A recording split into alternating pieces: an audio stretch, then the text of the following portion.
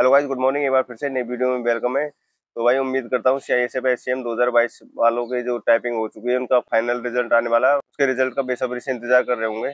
तो भाई, आज की इस वीडियो में हम ना तो कोई रिज़ल्ट के बारे में चर्चा करने वाले, ना ही किसी कट ऑफ़ के बारे में चर्चा करने वाले, ना ही कोई मेडिकल लिस्ट के बारे में चर्चा करने वाले। आज की वीडियो बहुत ज़्यादा इंपॉर्टेंट होने वाली है उन भाइयों के लिए जिनका सीआरपीएम में सिलेक्शन हो चुका है। और जो सी में भी सिलेक्शन लेने वाले हैं। उन भाइयों के लिए बहुत ज़्यादा इंपॉर्टेंट होने वाली है और उनसे मैं एक ही रिक्वेस्ट करना चाहूँगा, जो आज की इस वीडियो में मैं बताऊँगा आपको कि भाई उनको क्या करना चाहिए और ऐसा करने से क्या होगा। तो उससे पहले मैं एक बात बता देता हूँ, जो ये जो सीआरपीएफ का रिज़ल्ट है ना, वो बहुत पहले नहीं आ गया था। जब सीआईएसएफ की टाइपिंग स्टार्ट हो गई ना, उसके बाद रिज़ल्ट आया था ये। जब सीआईएसएफ एससीएम की जब आधी से ज़्यादा टाइपिंग हो चुकी थी ना, उसके बाद में जो है रिज़ल्ट आया था सीआरपीएफ एससीएम का फाइनल उसमें क्या कुछ बहुत ज़्यादा स्टूडेंट जो है सेलेक्ट हो गए, क्योंकि जितनी वैकेंसी थी, उतने स्टूडेंट तो उसमें सेलेक्ट हुए, सीधी बात है। और उनमें से कुछ स्टूडेंट ऐसे हैं जिनका सीआईएसएफ में सिलेक्शन होगा, और उन्होंने सीआईएसएफ की टाइपिंग भी दे चुके हैं, और वो क्या रिज़ल्ट बना चुके हैं सीआईएसएफ का। पूरी तरह से उनका क्या रिज़ल्ट बन चुका है। कुछ स्टूडेंट तो ऐसे हैं जिनके अच्छे नंबर मार्क्स हो रहे हैं, जिनके 80 प्लस भी है 88 प्लस भी है 85 प्लस भी मार्क्स है जिनके स्टूडेंटों के और उनसे क्या कट ऑफ़ क्या इंक्रीज होगी, बहुत ज़्यादा इंक्रीज होगी, और उनका कोई मतलब नहीं निकलेगा, क्योंकि वो सीआरपीएफ में सेलेक्ट है। और सीआरपीएफ में वो ज्वाइनिंग लेंगे और यहाँ यहाँ वो उनको, उनकी सीट खाली रह जाएगी और यहाँ सीट खाली रहने की वजह से कट ऑफ़ ज़्यादा बढ़ेगी उन सीटों का को कोई मतलब नहीं निकलना। उनका ज्वाइनिंग तो सीआरपीएफ में हो जाएगा, यहाँ पर सीट खाली रह जाएगी और कट ऑफ़ वैसे बढ़ी जाएगी। तो इसलिए भाई, जिन भाइयों का सीआरपीएफ में सिलेक्शन हो गया है, पूरी तरह से सिलेक्ट हो गए वो और जिनकी ज्वाइनिंग लेटर मिलने वाला है और जो रोज़गार मेले में जाके आ गए, उन भाइयों से ये रिक्वेस्ट है कि भाई जिनका उनको लगता है कि मेरा सी सी आई एस में अच्छे मार्क्स आए हैं, मेरा सी सी आई एस में टाइपिंग अच्छी हुई है, मेरा सिलेक्शन हो सकता है और होएगा, पक्का होगा।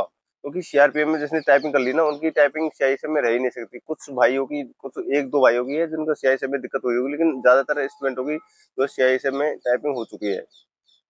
उन भाइयों से रिक्वेस्ट है। आपको एक क्या फॉर्मेट दिया जाएगा? फॉर्मेट क्या मैं टेलीग्राम चैनल पर प्रोवाइड कर दूँगा। उस फॉर्मेट में आपको ये लिखना है। उसमें क्या है? पूरे सब कुछ डिटेल में मतलब पूरा फॉर्मेट है। उसमें आपको ये लिखना है। मेरा सीआरपीएफ में पहले से सिलेक्शन हो गया। मुझे सीआईएसएफ में जॉब नहीं लेनी। इसलिए प्लीज़ मुझे करके यहाँ से बर्खास्त कर दे। यहाँ से यहाँ यहाँ की मेरी सीट किसी और को दे दी जाए। तो यहाँ पर कट ऑफ़ इंक्रीज ना करे मेरी वजह से। क्योंकि तो जिससे क्या है भाई, अगर मान लीजिए सौ स्टूडेंट भी ऐसे मिल जाएँगे जिनका सीआरपीएफ में सिलेक्शन हो गया। और सी में भी उनका सिलेक्शन होने वाला है। तो सौ भाइयों से मतलब है सौ सीट खाली हो जाएगी। अगर सौ में से अगर दस बीस लड़के भी, अगर दस बीस को ये बात समझ में आ जाती है और वो एप्लीकेशन लिख के और ईमेल आईडी पर सेंड कर देते हैं CISF की ऑफिशियल ईमेल आईडी पर तो भाई इससे क्या बीस स्टूडेंटों से क्या है कट ऑफ़ बहुत ज़्यादा कम हो जाएगी और बीस सीट खाली होकर किसी अन्य स्टूडेंटों को मिल जाएगी। उससे क्या है भाई बीस घरों में खुशी आएगी इस वजह से। तो इसलिए भाई रिक्वेस्ट है सीआरपीएफ वाले भाइयों से जिनने सीआरपीएफ में सिलेक्शन ले चुका है और जिनका सी में भी सिलेक्शन होने वाला है। तो उनसे भाई बहुत बड़ी रिक्वेस्ट है। हम सभी की रिक्वेस्ट है। सभी सी वाले स्टूडेंटों से की तरफ़ से रिक्वेस्ट है कि भाई वो एक एप्लीकेशन भरकर अपनी ईमेल आईडी जो सी की ईमेल आईडी है ना, उस पर ऑफिशियल ईमेल आईडी पर एक मैसेज ज़रूर भेजे। भाई ये रिक्वेस्ट है सभी की। हम सी स्टूडेंटों की तरफ़ से। इसलिए आपको ये काम ज़रूर करना है यार भाई। ज़रूर करना है, क्योंकि इससे क्या है, अगर आप दस बीस स्टूडेंटों को ये बात समझ में आ गई और उनको पक्का लगता है ना कि भाई मुझे तो सीआरपीएफ भी अच्छी लगती है, मैं तो सीआरपीएफ में ज्वाइनिंग लेना चाहता हूँ। उन भाइयों से रिक्वेस्ट है कि भाई वो एक एप्लीकेशन अपना जो फॉर्मेट है, जो टेलीग्राम ग्रुप में मैं प्रोवाइड करूँगा, उसको भरकर एक ईमेल आईडी पर भेज दे।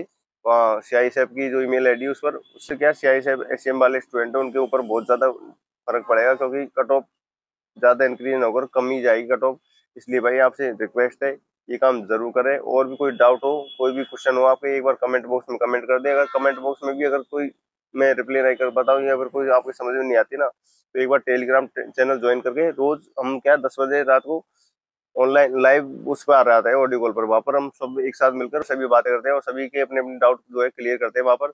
इसलिए भाई आपसे रिक्वेस्ट है टेलीग्राम चैनल ज्वाइन करके वहाँ पर ऑडियो कॉल पर आए और सबका जो भी आपका डाउट हो, वो आप पूछ सकते हो। वहाँ पर मैसेज करके पूछ सकते हो।